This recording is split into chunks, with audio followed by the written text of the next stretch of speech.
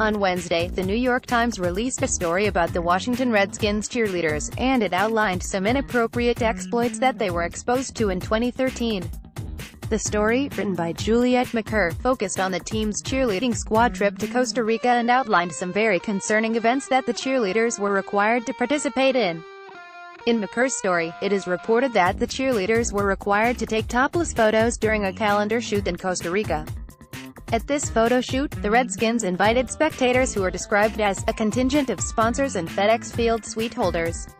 And they all happened to be men. As if that wasn't bad enough by itself, nine of the squad's cheerleaders were also required to escort some of the gentlemen to a nightclub at the end of the day. And the attendance of these women was mandatory, per the story.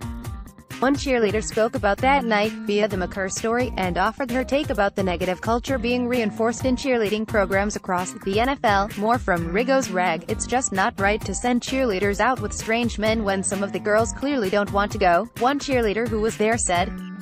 But unfortunately, I feel like it won't change until something terrible happens, like a girl is assaulted in some way, or raped.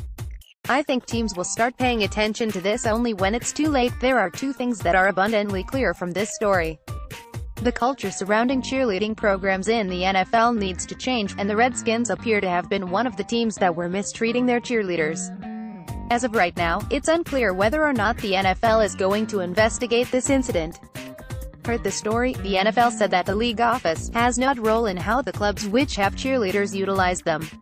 So, that may make investigating these matters difficult, as the NFL will not want to get involved in this. At the same time, it should be a goal of the league to ensure that they are creating a safe working environment for all. And this could be considered hostile based on the testimony of the cheerleaders.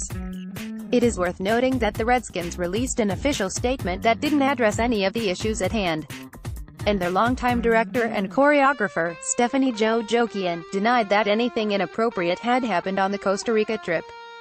But is often the case, where there is smoke, there is a fire. This matter should certainly be investigated.